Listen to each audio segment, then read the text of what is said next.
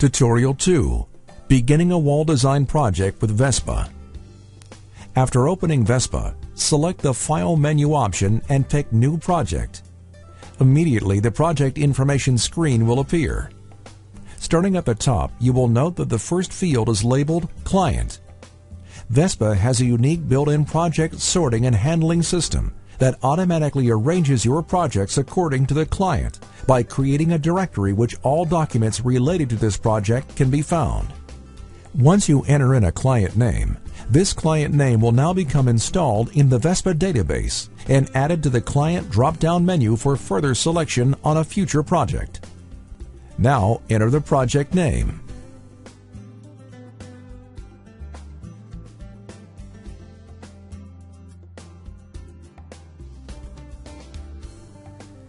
Note at the bottom of the screen a folder path has been automatically created to save any related files for this project.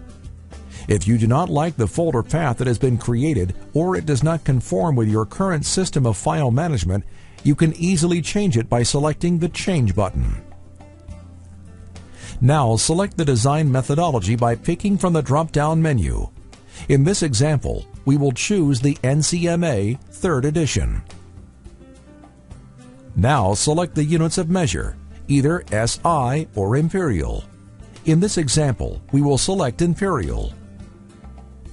In the project notes, any text can be added that is relevant to the project. In the upper right quadrant, you will note the revisions table. This is a very simple and powerful way to manage design changes, review various design options, etc. Essentially, once you create a design, that version of the design is listed in the table as number 1, as shown. If a grade or some other element of the design is changed since the original, simply copy the original and now make your modifications to the new version, which would be version number 2. This way, the original version stays intact in case you ever have to go back to it, and you have a new version that is most recent. This is also useful if you wanted to compare different design options using a variety of SRW products and or geosynthetics for costing, etc. The revision notes located below allow you to describe that particular revision explicitly. When you come back to a project, you then choose the revision you want to work on and set as active. You can also delete revisions, but be careful you don't remove a relevant version.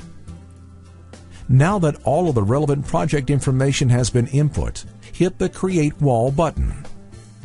Once you create wall, you will be prompted to enter a name for the new wall. As there are often a number of separate retaining walls on a particular site, Vespa allows the MSE designer to design multiple walls simultaneously within the same project.